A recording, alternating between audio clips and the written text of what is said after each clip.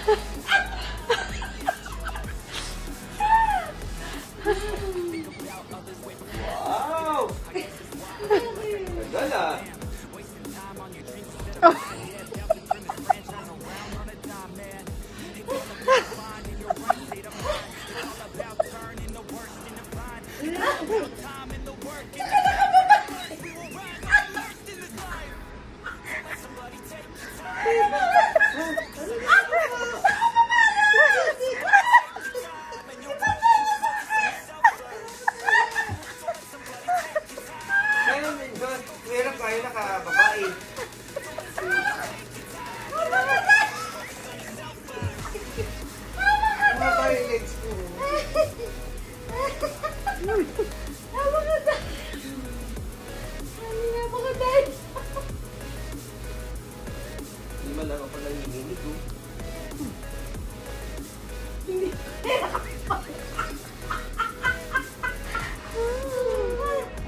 Dati na mo yung layo nun sa...